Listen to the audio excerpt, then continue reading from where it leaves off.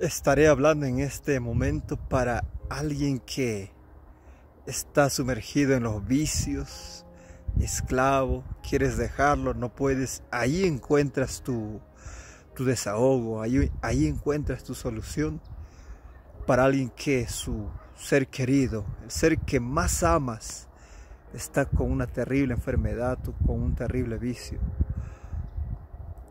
¿Dónde miras? ¿Dónde buscas auxilio? ¿El dinero? ¿En tu carro? ¿En tu casa? ¿Qué haces para tener paz? Para tener la certeza de que todo terminará bien. Ahí es donde radica el primer principio del éxito. Es primero Dios.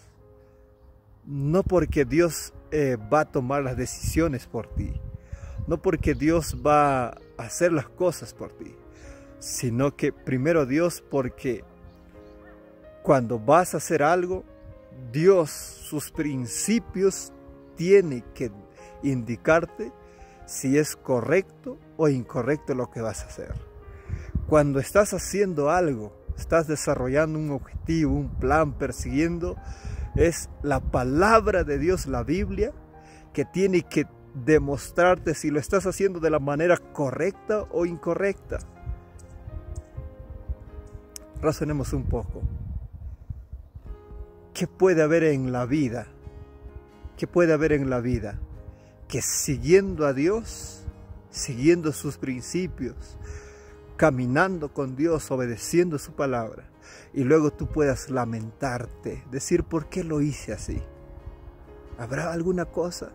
Yo no conozco ni uno en estos más de 20 años que llevo tratando de aprender cada día más de la palabra de Dios.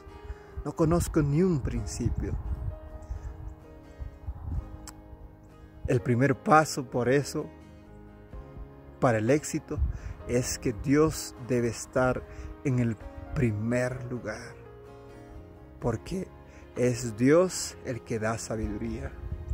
Es Dios el que libra tus pies de que resbales.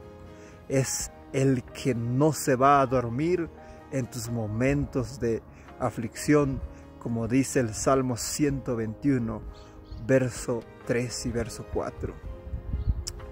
Otro principio para el éxito es el trabajo.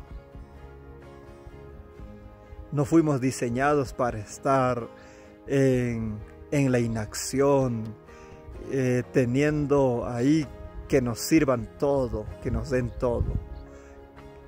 Y, estemos sentados ahí eh, enviciándonos de alguna cosa. Fuimos diseñados para estar en actividad, para trabajar desde el principio ahí en Génesis 2. Eh, por lo tanto, el trabajo, el trabajo es una bendición.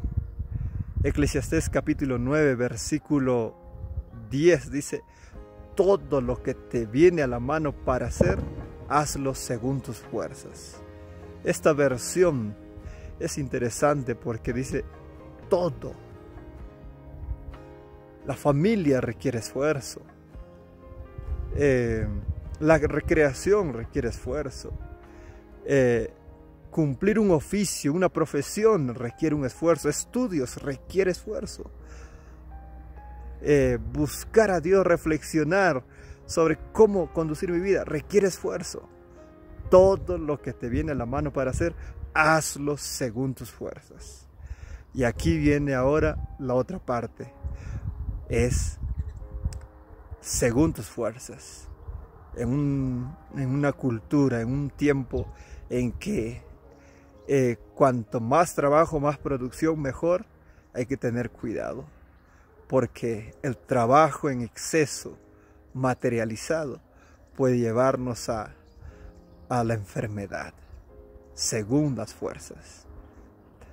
Em, otro principio que encontramos para el éxito, que no falla, es el principio de la integridad hacer las cosas con integridad, con fidelidad. Esto es imposible humanamente hablando. Es imposible para el ser humano contaminados con el egoísmo, con la ambición. Ahí es donde Dios se especializa. Pero tenemos que ser conscientes de que Dios requiere un trabajo con integridad. Colosenses capítulo 3, versículo 23 dice, todo lo que te viene a la mano para hacer, hazlo, hazlo con todo el corazón como para Dios, no para los hombres. Esto es maravilloso porque hacerlo con todo el corazón trae recompensas. Hace que nunca vas a estar desempleado, nunca vas a estar eh, sin que alguien pueda requerir de tus servicios, porque lo haces con todo el corazón. Eh, siempre tendrás la bendición de Dios allí en el libro, eh, en la historia de, en la vida del patriarca Jacob, cuando su suegro Labán no le quería dejar ir porque era íntegro, Dios bendecía lo que hacía.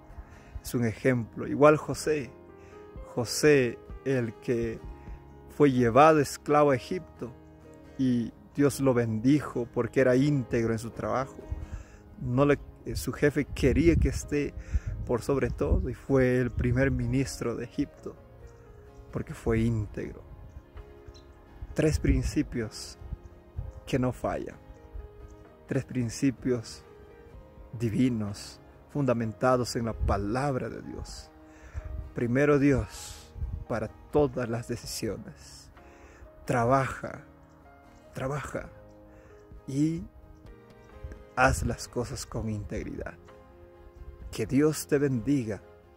Puedes alzar los ojos al cielo y decir al Señor, transfórmame, ayúdame a ser íntegro.